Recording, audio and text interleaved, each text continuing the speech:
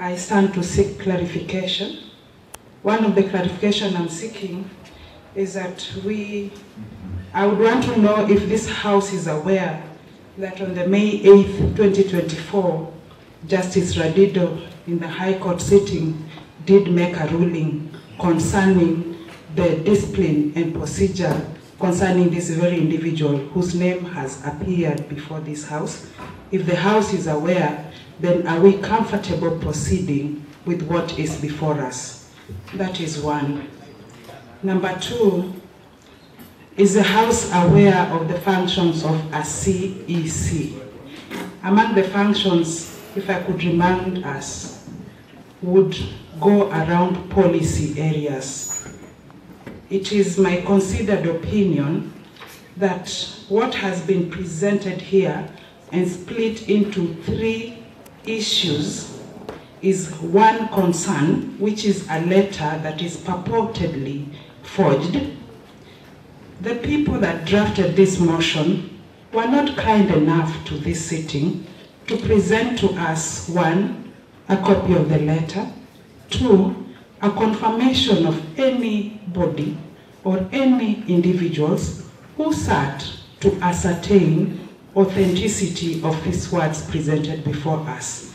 It is, Honorable Speaker, my considered opinion that this House is being taken for granted, that this House is being used as a tool to exercise revenge for reasons that are not known for us or to us. And therefore, it is easy to say that we are not clear on what concerns we are addressing here.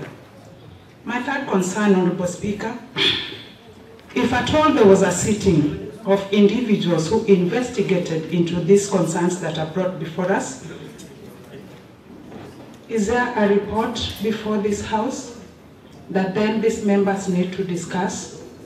If the report I, I is think, Honorable, Honorable William, you must know the procedures of this. This is a motion whereby you are eligible to contribute. There was no committee net yet to be formed.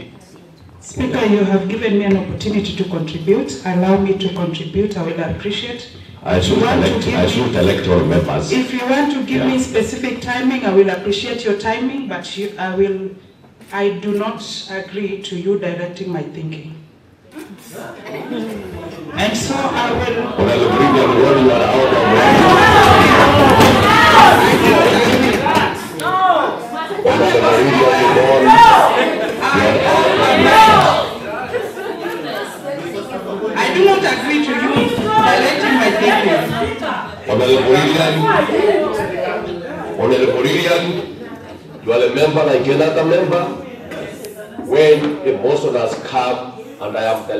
that no committee has been formed.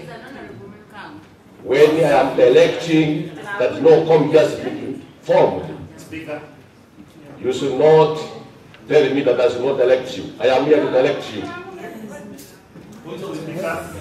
Honorable members, that is the duty of the Speaker, Honorable William, if you are not aware.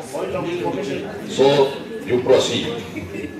Of, Upon guided Honorable Speaker, you seem to be having quite a number of supporters of who should leave and who should stay in their office. I am well guided. Honorable Speaker, I can only sit down if it is a point of order. Only point of, order would allow me to sit down. point of. No, no, no, only a point of order takes precedence, Honorable Speaker. Yes. Honorable Lydia, what that you know other member. Point of information before you proceed. Yes, Yes, proceed.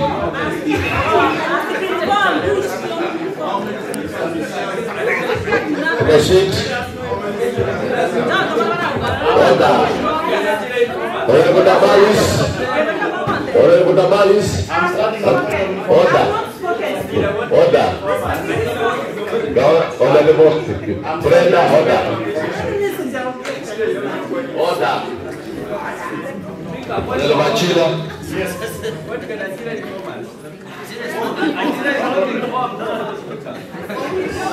No problem.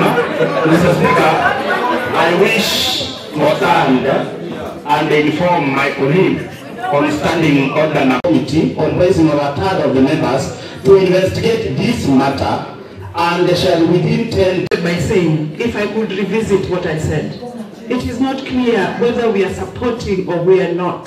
Because at this point, when you say and read, and uh, the chair culture did read very well, and one of the things that is contained in this motion is that this house therefore decides to. That's a paragraph in this document.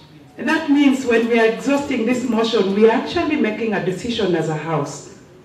So if the chair so guides that when we decide, then we are not going to decide the content of this document, therefore I'll be comfortable, Honorable Speaker.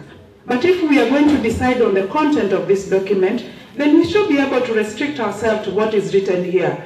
I have checked through this document. There is no request for formation of a committee, Honorable Speaker.